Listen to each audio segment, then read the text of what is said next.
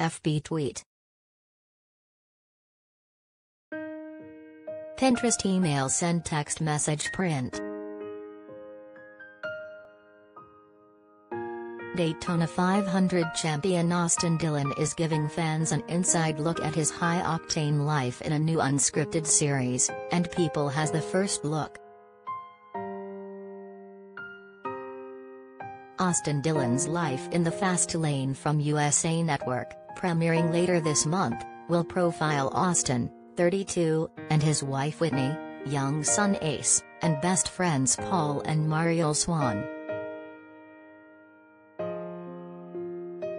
The half-hour series promises high-stakes races, hilarious adventures and heartwarming moments at home, as cameras follow the Dillon family and friends throughout their daily lives.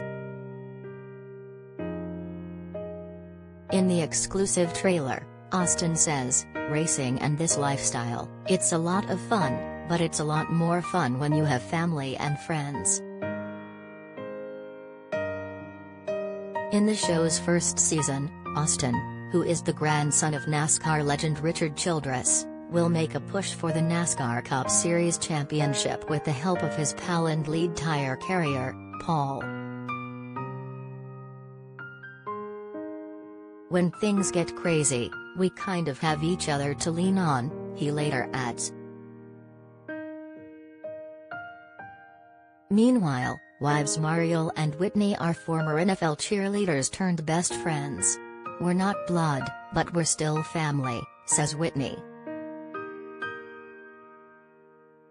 The debut season shows their daily lives as they navigate pregnancy and toddlers, and their husband's day-to-day adventures.